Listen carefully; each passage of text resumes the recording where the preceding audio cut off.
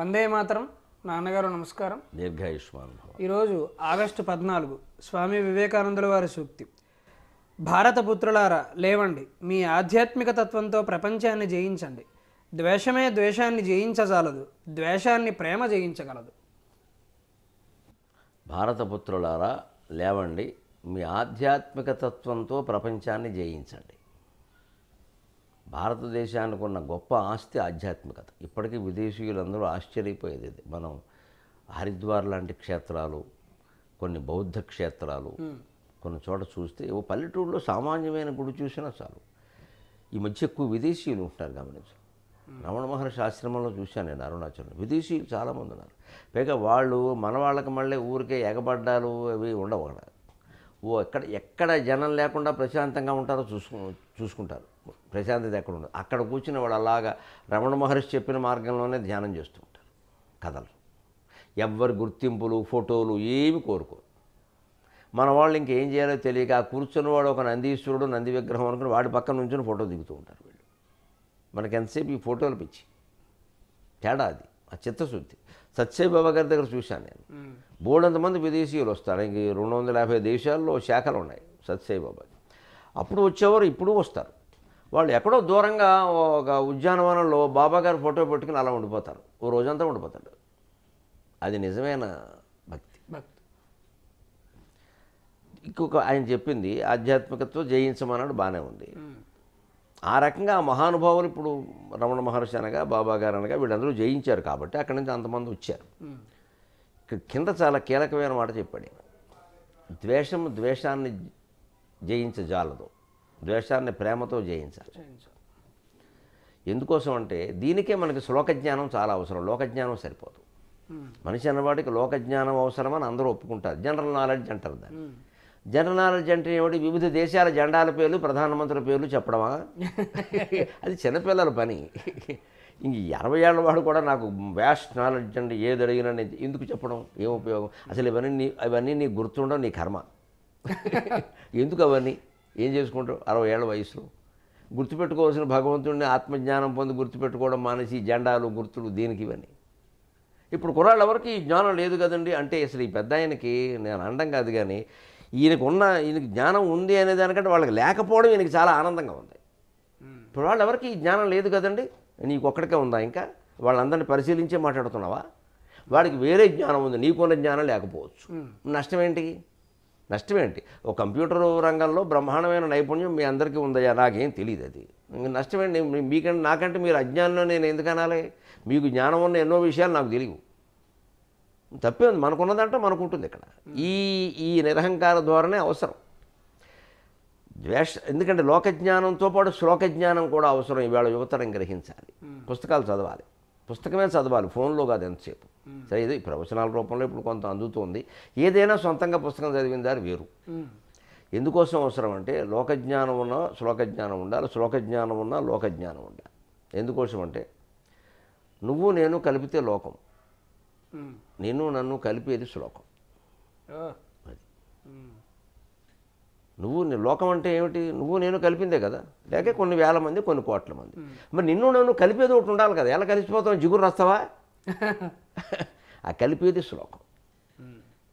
ఆ శ్లోకం కోసం మనం భారతం చదవాలి రామాయణం చదవాలి. మహాభారత యుద్ధం ఉంది ఉదాహరణకి. ద్వేషాన్ని ద్వేషంతో జయించలేము ప్రేమతో తప్ప అని ద్రౌపదీదేవి నిరూపించింది. ఎందుకంటే ఆవిడ ఘోరమైన అవమానం జరిగింది. ఇంక అందులో అనుమానం వెళ్ళలేదు ఆవిడ అది తీరితే కానీ నాకు కుదరదని చెప్పింది. అందులోనూ ఆవిడని మనం పక్కాగా సమర్థించవలసింది. ఇంక పక్కకి వెళ్ళి మాట్లాడే ఇది లేదు. అంత ఘోరమైన అవమానం అది. అసలు అది జరగకపోతే యుద్ధమే జరిగేది కాదు. యుద్ధం జరగకుండా ఆపడానికి కొన్ని అవకాశాలు ఉన్నాయి. ఇంకా ఆ తర్వాత లేదు ఇంకా. అవకాశం లేదు. కానీ ఆశ్చర్యకరమైన మార్పు ద్రౌపదిలో ఏంటంటే తనని జుట్టెట్టుకు లాగినటువంటి దుర్యోధనుణ్ణి దుశ్శాసనుణ్ణి చంపి నెత్తురు పట్టుకొచ్చి ఆ జుట్టు ముడి వేసే వరకు ఆవిడ ఊరుకోలే. భీముడిని నిద్రపోనివ్వాల.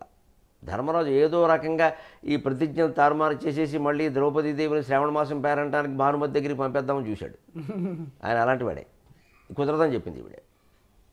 కుదరదు. కొన్ని రకాల కక్షలు అది అన్యాయం మనకు అన్యాయం జరిగినప్పుడు. అది తీరితే తప్ప మనిషికి మనిషికి శాంతి ఉండదు.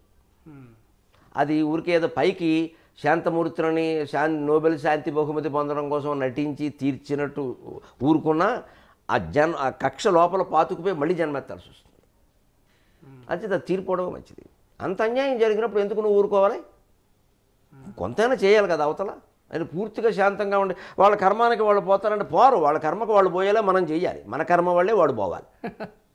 వాడి కర్మానికి వాడు పోతాడు. చేతకాని వాడు మాట్లాడే మాట ఇది. పోయి మంచంలో ఉన్నవాడంటే పర్వాలా? ఏదో కంచం దగ్గర కూర్చొని తింటున్నవాడు అంటాడు ఈ మాట. పౌరుషం లేదు. నీకు అన్యాయం జరిగింది నీ ఆస్తి కొట్టేశారు నీ కుటుంబం నీకు అన్యాయం ఏదో జరిగింది తీసుకోవాలి దానికి దెబ్బ కొట్టాలి. చంపెక్కలేదు మనిషిని బతుకుండగానే మళ్ళీ ఎక్కడ కనపడినా సరే తలెత్తుకోలేకుండా చేయాలి.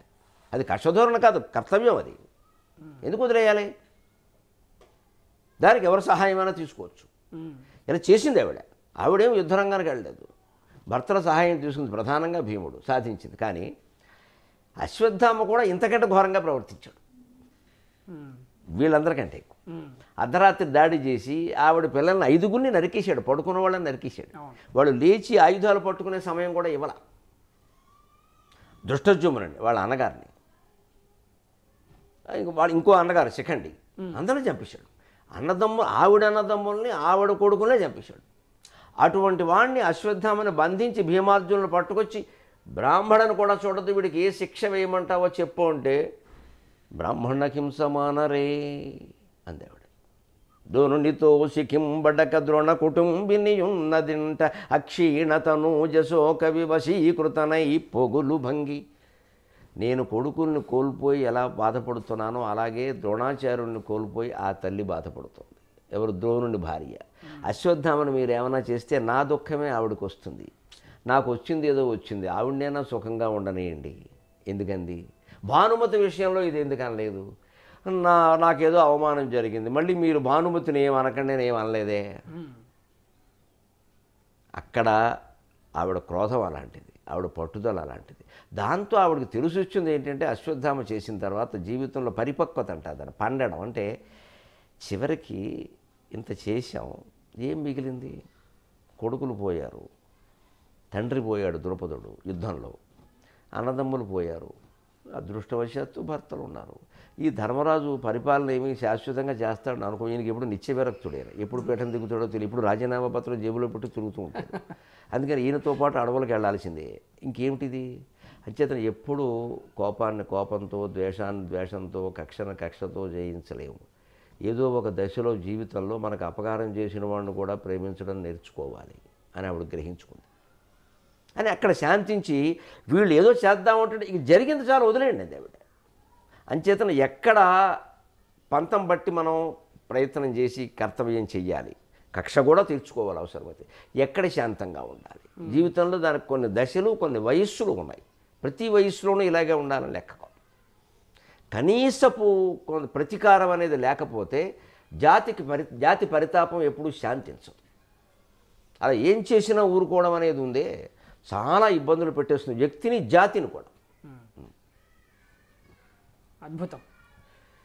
ఇప్పుడు ఈ సూక్తికి మహాభారతంలో చెప్పిన ఉదాహరణను మనం గమనిస్తే నిజానికి మనం మూడు వందల అరవై ఐదు రోజుల పాటు మనం చెప్పుకునే సూక్తులన్నింటికీ కూడా మహాభారతంలో మనకు అద్భుతమైన కథాంశాలు ఉదాహరణలుగా కనబడతాయి. మహాభారతంలో ఉన్నదే లోకంలో అంతటా ఉంది అని వ్యాసుడు ఎప్పుడో చెప్పాడు. భారతంలో లేనిది లోకంలోనూ లేదు అన్నాడు. అందుకని ఇటువంటి సూక్తులకి అటువంటి కథలను మనం గమనించి మహాభారతం వంటి కథలను మనం చదివి అధ్యయనం చేయగలిగితే కనుక ఈరోజు మనం రకరకాల రంగాల్లో ఉండి మహాభారతంతో మాకేం పనండి మేము పలానా ఉద్యోగంలో ఉన్నాం కదా భాగవతంతో మాకేం పనండి అంటారు కానీ ఆ నైతికమైన విద్యా విధానం ఎప్పుడైతే ఉంటుందో అప్పుడు ఇటువంటి ఉదాహరణలు మనకు తట్టే అవకాశం ఉంటుంది. అది మన ఉద్యోగ జీవితంలో కూడా వినియోగించేందుకు అవకాశం ఏర్పడుతుంది. ద్వేషాన్ని ద్వేషంతో జయించలేమని ప్రేమతోటే జయించగలమని చెప్పడానికి ఇటువంటి ఉదాహరణను నాన్నగారు మహాభారతం నుంచి ఉటంకించారు. మహాభారతంలోనే మరెన్నో ఉదాహరణలు ఉన్నాయి. ఇతర కావ్యాలలో కూడా చాలా ఉదాహరణలు ఉన్నాయి. వాటిని అన్నింటినీ ఎంతో కొంత మనం తెలుసుకునే ప్రయత్నం చేసి నిత్య జీవితంలో ఆచరిద్దాం ఆచరించే ప్రయత్నం చేద్దాం. రేపు ఆగస్టు పదిహేనవ తేదీ మరొక మంచి సూక్తితో వివేకానంద శంఖారావం కార్యక్రమంలో మళ్ళీ కలుసుకుందాం. అప్పటి వరకు తెలుగులో మాట్లాడదాం.